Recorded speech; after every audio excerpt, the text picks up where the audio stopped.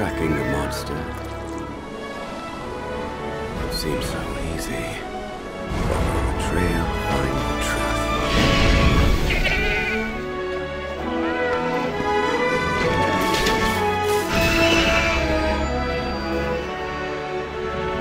What in the heck is that?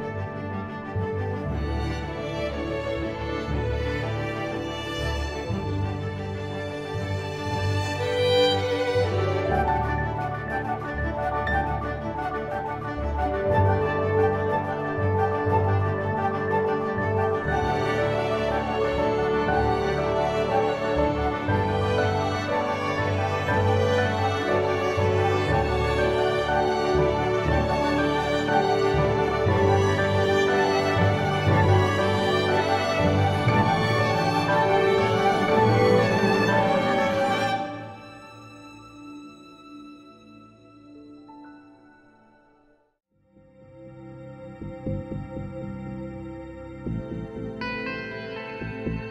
you.